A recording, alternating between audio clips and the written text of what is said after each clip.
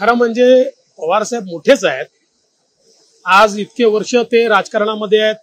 जवळपास त्र्याऐंशी चौऱ्याऐंशी वर्ष किंवा पंच्याऐंशी वर्ष जे काही त्यांचं वय असेल ते राजकारणामध्ये त्यांचे जवळपास पंचावन्न वर्ष या ठिकाणी पूर्ण झाले आहेत. तर या स्तराच्या नेत्यांनी एका साध्या आमदाराला अशा प्रकारे जर धमकी दिली असेल तर ती योग्य नाही आहे मला असं वाटतं की त्यांनी म्हणजे मी काही त्यांना सल्ला देण्या एवढा मोठा नाहीये पण त्यांनी याचा पुनर्विचार करावा. शेवटी ते कुठल्या स्तराला आहेत? आणि जर अशा प्रकारे ते आमदारांना धमक्या द्यायला लागले तर मला असं वाटतं कुठेतरी त्यांचा जो स्तर आहे तो खाली येईल. आणि मला वाटत नाही की कोणी आमदार अशा प्रकारे त्यांना किंवा त्यांच्या कार्यकर्त्यांना धमकी देत असेल.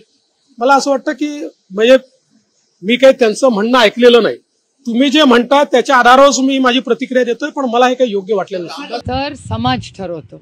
एक माणूस नाही ठरवत. समाजमध्ये आपली काय स्थान आहे हे मायबाप जनता ठरवते पहिला मुद्दा. दुसरा मुद्दा गृहमंत्री म्हणून जर देवेंद्रजींनी चांगलं काम केलं असतं तर आदरणीय पवार साहेबांना व्यक्त करावंच लागतं नसतं मत.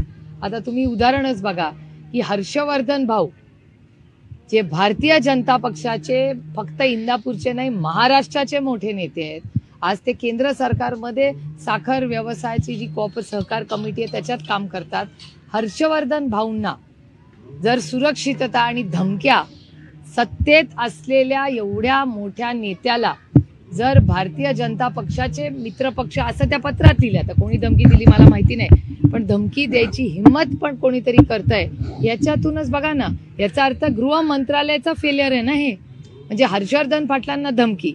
मदन बाफना जे एवढे वरिष्ठ नेते आहेत त्यांना धमकी.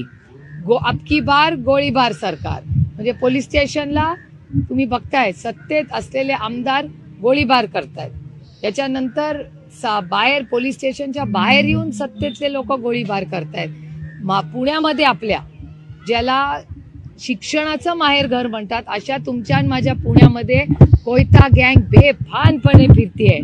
ड्रग्ज सगळीकडे मिळत आहेत त्याच्या छापामध्ये हजारो नाही करोडो रुपयाचे ड्रग्ज भेटत आहेत मग ह्याला जबाबदार कोण आहे?